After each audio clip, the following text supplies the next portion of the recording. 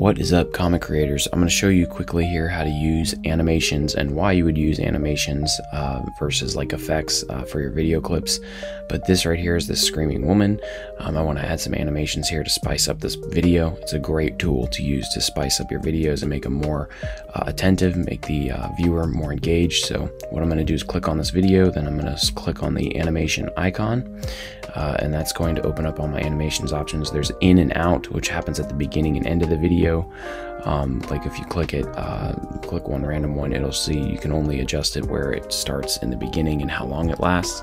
But if you do combo, um, combo will allow you to add animations into your video clip and it can be anywhere in the video clip that you want it to be. It doesn't have to be at the beginning or, or end, it can be anywhere. So like if I click this wobble effect, um, as you can see, it's giving me a sample of what it looks like uh, in my uh, video clip. And then I use this bar down here and adjust where it begins and where it ends um, in the project. So I'm going to slide both of those at certain points here and just kind of test it out. You can kind of see I have it starting now a little bit in the beginning to see how that looks, but uh, it's basically just getting it right where I wanted to actually engage in the project itself. And so uh, that's essentially what we're trying to do.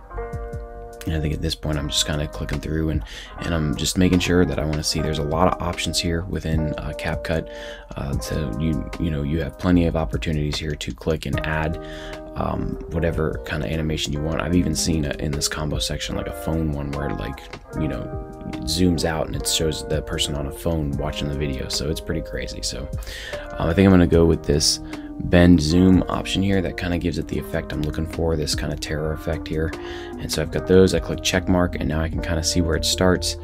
I think I wanted to add a little bit earlier for it to start. So what I simply got to do to edit it, you click the project, make sure it's clicked again, click animation, go back to the combo tab and see now I can adjust uh, when that animation actually starts, click the check mark. And now when you go in, boom, now you have her uh, in there. Now, let's say you add your animation and you don't uh, like what you did um, in there uh, and you and you want to remove it. So essentially what you have to do is when you click on the video clip again, uh, you would go back into that uh, animation tab and make sure it's back in combo. So here I'll click this.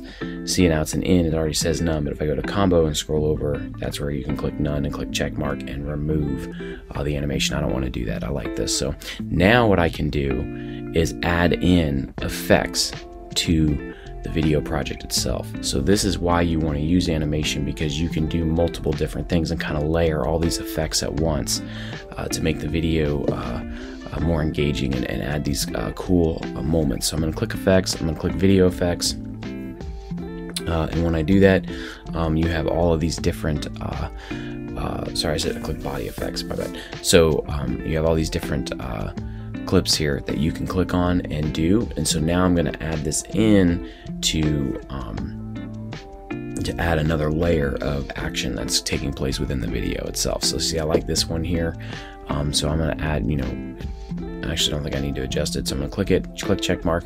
Now it's in the clip here. And so now I've got these multiple layers of uh, things happening. So I want this to add at a different spot here. So I can just click and drag and have these uh, different kinds of effects taking place in the clip. So you have um, all that different kind of stuff. So that's the reason why you do animation uh, and then do effects afterwards because you can layer all these things on top of each other and make a really cool segment. So I hope that this helped you out. Let me know if you have any questions or comments in the comments section below, and I will catch you guys in the next one. Thank you for watching. If you found this video helpful, please take the time to like, comment and subscribe as it helps us to further please our YouTube overlords. Check out more links in the description for continued assistance on your CapCut projects, and please keep your arms and legs inside the craft until it comes to a complete stop. Be sure to mind your headspace and watch your step as you exit. Failure to comply may result in serious injury or death. We will see you next time, Comet creators. End transmission.